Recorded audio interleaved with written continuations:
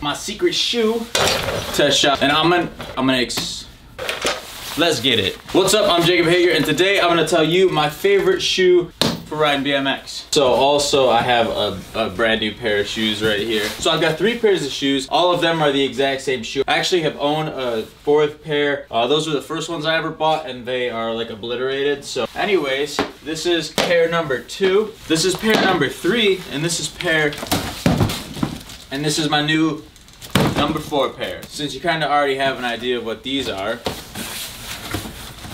these are also the same Osiris shoes as these ones here. These boys are a little crispier. White and black action to match the white and black bike. Yeah, it's a really weird choice of shoe. They don't actually all look like this, like the kids wore them in high school with the fat tongues and like the open shoe. They don't look like that. When you wear them, they just look like this. You just lace them up to the top and they look like a normal shoe. Like these are a fairly identical look to like a Vans. The reason, and I, I, got a bunch of them, these are my favorite riding shoe for a few different reasons. One, the tread on the bottom is amazing. It's like your standard Nike tread, just the zigzag stuff. You know, it's not like the waffle grip, but I, to be honest, I don't notice a difference in shoes as far as grip. These are just really grip. Either way, I don't have a problem with these sticking to the pedals. So for BMX, uh, one thing that my shoe has to be is a high top. I have a lot of problems with this ankle. Outside of my ankle just gets torn up. I've worn almost everything. I've worn DCs, which were nice. I've worn Nike high tops, those got trashed pretty fast. All my Vans, I just, they're too thin. There's no padding on them. They're not thick enough. So I just smack my ankle and it just cuts right through the shoe. What made me try them, honestly, I just like, I like the, the colors of my first ones. They were just gray. I'll put a picture up here. And I was like, I'll try them. They were like 50 bucks on Amazon. Like, this is a dirt cheap shoe. I think I bought these ones the other day for like less than 60 bucks. These are the second pair I have, the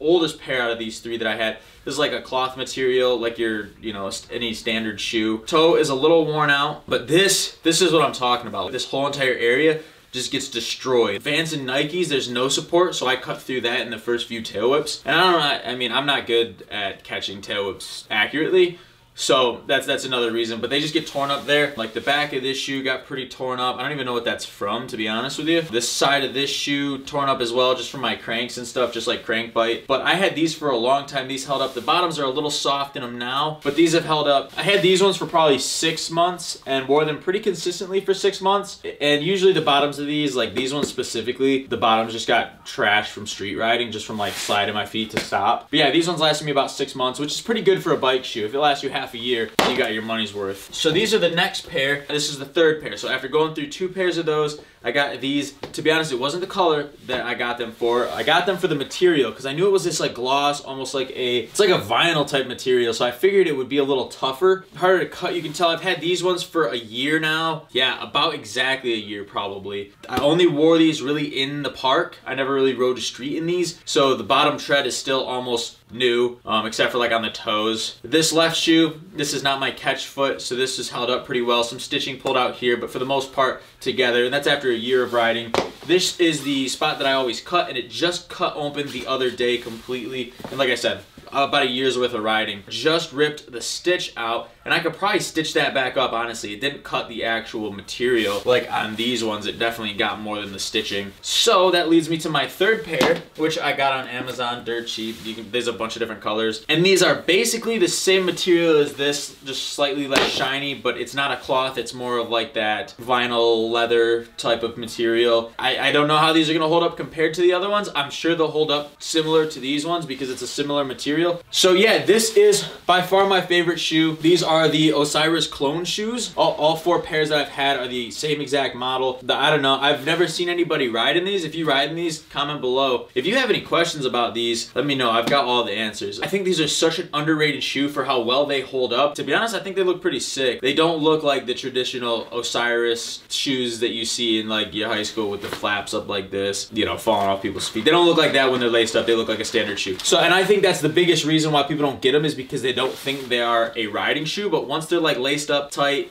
they're perfect. Also, this video is not sponsored or endorsed by any way by Osiris. These are just a, a shoe that I tried and it has never failed me. I've got my money's worth, but like if Osiris wants to hook me up with some shoes, that'd be pretty tight, you know? I could use some more. I could use as many as I could get. I would recommend, I know it's kind of lame, but I would recommend getting something that's like this or these pink ones that have that material if you have the same issue like ripping up the sides because the cloth ones, as you can see, didn't hold up. And I had those three these two in my older pair with the same set of cranks. I was riding uh, Odyssey Thunderbolts and Profile, the standard 19 spline cranks with both of these shoes. Also, that, that could be another issue is your cranks. If your cranks are really sharp on the bottom here, that could be a reason why you're cutting them. These are the ones I'm currently riding, and these are, just so you can see, the original, just the stock footbeds. They're the stock insoles. Nothing fancy, nothing special, and it is pretty cushiony. It does absorb the landing pretty well, but you still might want to put a heel saver in there or just replace that whole entire insole with like a FP insole. Yeah, I, there's not enough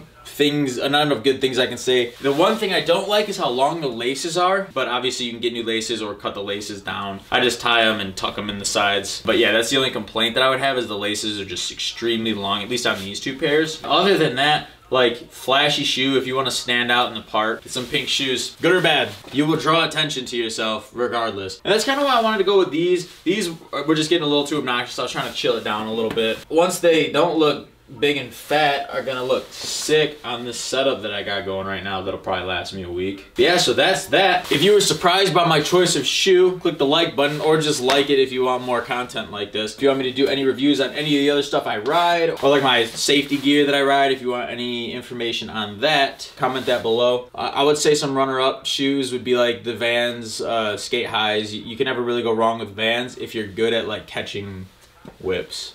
That's why I don't run them because I'm just like I catch whips so so like on the crank arm, like on the side of the crank arm that they just cut it um, but Vans are good. They give you good grip, decent amount of ankle support. But I also wear these with space braces. That helps a little bit as well. I don't really like the half cabs, to be honest. I don't like where they sit. If you like low shoes, those are nice. I rode in some Nikes, just, just some standard Nike high tops, and those worked really well. And then I wore some DCs back in the day that were literally just like this, and they, they were awesome too. They lasted me a while. I just like the thicker padding on the shoes. It gives me a lot more support. I'm more comfortable. I'm not afraid of doing like tail whips and and stuff, you know, once I hit that spot once and there's no padding there, then I'm not I'm not doing whips for the rest of the day. I absolutely love these shoes. I will buy these shoes as long as they keep making them. Probably end up getting another pair in the next six months. The soles are just glued on. I think this is this is the worst pair that I have. I've never had any tearing. Uh, I mean, this is just slightly, and that used to be a big problem with Vans, is this would just peel off. Never had any issues with that. On the bottom, they've never split. Like I said, I wore I wore through the bottom of the middle of this shoe before I actually tore this away from it. So it's a, it's a pretty good sole on the shoe itself. And then you can just wear them like it as an everyday shoe. They are pretty good looking shoes, like I said, once you have them laced up. And a shoe like this, you can't even tell that it's an Osiris. It doesn't have any big standout logos like these ones have the big black standout logo in them. You can you can hide them a little bit if you're embarrassed about the big fat logo on there. I don't really care. Um, I support them because they support my feet and my ankles, so I don't mind repping their name a little loudly on my feet. Yeah, word. So that's my favorite shoe uh, in BMX. I 100% would recommend these to anybody who likes a high top shoe, or if, if you just never rode in one, give it a try. They're super cheap. You can find them on Amazon for like 50 bucks. But yeah, thank you for watching. Again, this is my favorite shoe. I've had four pairs of them. They've never let me down and they've lasted six months to a year each of them so we'll see how long this pair lasts. Like my video if you dig any of these pairs of shoes. Comment if there's any other parts reviews or uh, safety gear review you want me to do. Subscribe so that you can see more clips of me in these shoes and some how-to's and stuff coming in the future. And some exciting stuff that's still in the works. So subscribe so you don't miss out on any of that. Thank you so much for watching and we will see you next time